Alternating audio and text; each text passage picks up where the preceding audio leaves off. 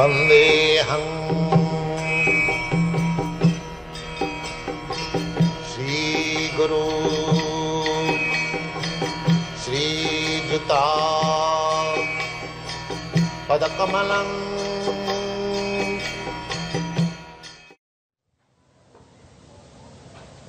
I just, I have so much love for you, and I said I must come for a darshan.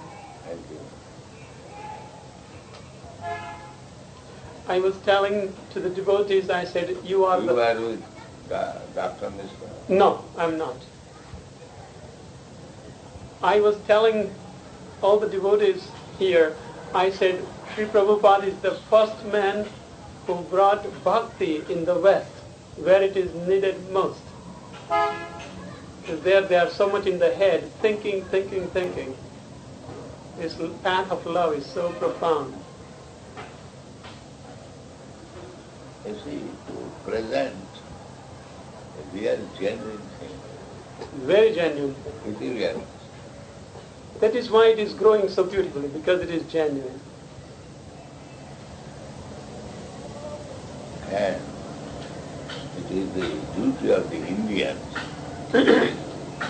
to give that genuine thing. Mm-hmm. That is Parapada. Before all these Swamis and yogis went there to achieve that. No, they were afraid to give the truth because they were afraid they will not be accepted. They did not know what is true. Not.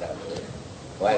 And if one is on the platform of truth, why he should be afraid?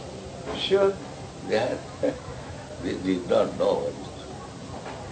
Beginning, beginning from Vivekananda. All the way. Right? See, after after you came, I was there in 1960. I started teaching yoga, but after you came, I became fearless to teach bhakti and chant mantra.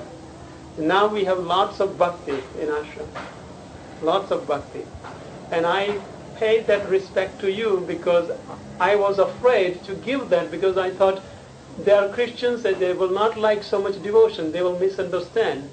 But you have performed a miracle. God has, Krishna has performed miracle through you.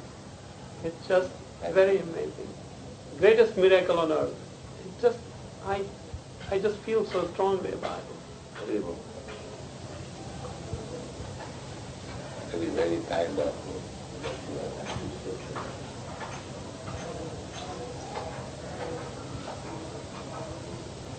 If you give genuine thing, you will get Right. And this is what I'm doing too. Everyone, we have about 180 people who live permanently in the ashram. And they all practice celibacy. Everyone wakes up at 4 o'clock and they sleep by 9 o'clock. They don't touch even each other. They sleep separately, they sleep different quarters. They sit even separately in satsang.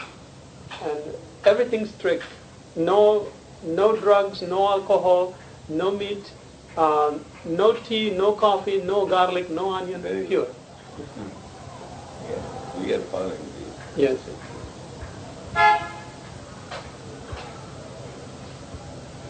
And yeah, we have got any deity. Yes, Lord Krishna and Radha is what it is. My guru is um, Swami Kripalvanandji. He is um, in Baroda, near Baroda. He has, he has an ashram. He practiced his sadhana for 27 years, and 12 years was complete silence. The last few years he's speaking once or twice a year because many people request. He's not chanting. He chants. Chant, during his uh, silence, his chanting is allowed because when he says, when you say the name of the Lord, that's not called breaking the silence. So he chants. Silence means we shall not talk nonsense. That's chant Hare Krishna. That is right.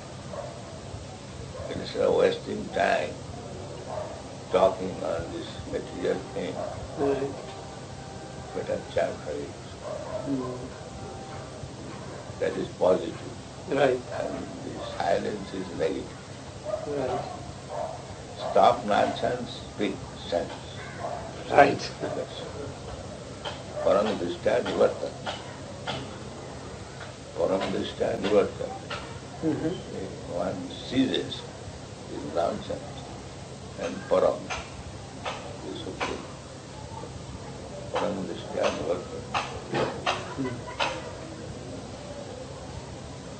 when you have got better things, when you are natural, gravis. Anything material, that is gravis. Right. Karma, Gyan, Jog, they are material.